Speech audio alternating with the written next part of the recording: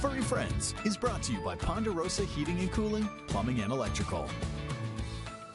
13 minutes before the hour now on this Friday morning, it's time for Furry Friends, where we show you an adoptable animal at Brightside Animal Center in Redmond. Meet Lupine. This is this little lady came to Brightside as an owner surrender because the kids in the home were allergic to her. Lupine is a two and a half year old American Terrier and Husky mixed pup. She's a well loved dog who gets along with other dogs and she loves cats too, but she tends to chase them a bit. So a cat free home is probably best. She's very healthy, very, very good. Really in shape, looks great. Her teeth are good. Everything's really, really good with this baby.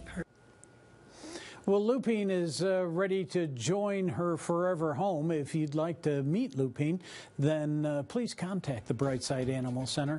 Brightside also took in a lot of animals and runaways over the July 4th weekend, so you're encouraged to contact them if you're missing a pet. They're open Tuesday through Saturday from 10 a.m. to 4 p.m.